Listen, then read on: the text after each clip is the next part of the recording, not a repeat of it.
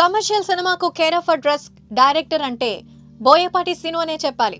వినయ్ విధేయ రామ లేటెస్ట్గా రామ్ చరణ్ అలాగే బోయపాటి కాంబినేషన్లో వచ్చిన full time family mass entertainer నిజంగా వినయ్ విధేయ రామ ట్రైలర్ చూసినప్పుడే ఇదొక విధ్వంసం సృష్టిస్తుంది అని అందరూ ఎక్స్పెక్ట్ చేశారు. మరి అద్భుతమైనటువంటి సినిమా రంగస్థలం తర్వాత మరి ఇంకొక అద్భుతమైన సినిమా చేయాలని రామ్ చరణ్ డిసైడ్ అయ్యారు. మరి ఒక అద్భుతమైన పర్ఫార్మెన్స్ ఓరియంటెడ్ రోల్లో చిట్టిపాపగా మెరిపించిన చరణ్ ఈసారి ఫుల్ టైం కమర్షియల్ హీరోగా బోయపాటి దర్శకత్వంలో వచ్చారు.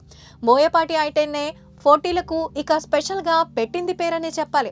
ఆయన తీసే యాక్షన్ సీక్వెన్సెస్ పిచ్చెక్కించేస్తాయి. ఆ వైలెన్స్ని చూడడానికి రెండు కళ్ళు సరిపోవు. దానితో పాటు ఫ్యామిలీ ఆడియన్స్ని కూడా టార్గెట్ చేస్తారు బోయపాటి. మరి అలాంటి ఓ డైరెక్టర్కి మన మాస్ ఇమేజ్ ఉన్నటువంటి ఒక పవర్ఫుల్ హీరో తోడైతే ఎలా ఉంటుందో వినయ్ విధేయ రామ అలానే ఉంది. ఈ రోజు వినయ్ విధేయ రామ విడుదలై సక్సెస్ టాక్ని సొంతం చేసుకుంది. మొత్తానికి Ram Charan box office tsunami సృష్టించడం ఖాయమని ఆల్రెడీ రేసులో ఉన్న సినిమాలతో పోటీలో గెలుస్తుందని మెగా ఫ్యాన్స్ ఆశాభావం వ్యక్తం చేస్తున్నారు. ఇక మరోవైపు రెండు రోజుల క్రితం విడుదలైన ఎన్టీఆర్ కథానాయకుడు బాలకృష్ణ మూవీ ఈ మూవీతో సరిపోలుస్తూ కొంతమంది కామెంట్ చేస్తున్నారు.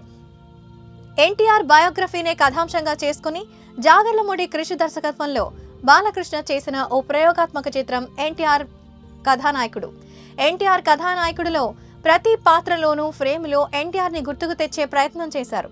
కొన్ని కొన్ని సన్నివేశాల్లో నిజానిజాలు చెప్పలేదన్న విమర్శలు వినిపించిన పాజిటివ్ టాక్ ఈ సినిమాపై పెరగడంతో బాలకృష్ణ చేసిన ఈ ప్రయోగం సక్సెస్ అయిందనే చెప్పాలి.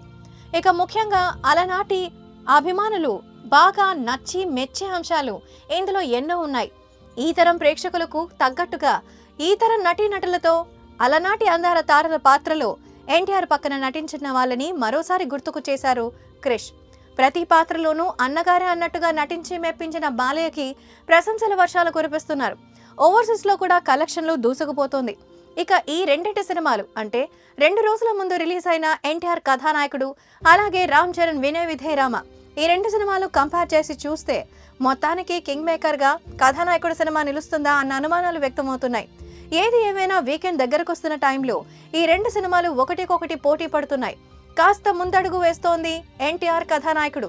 మరి వీకెండ్ జోష్ని వినయ విధేరామ పుంజుకుంటుందా? చూద్దాం.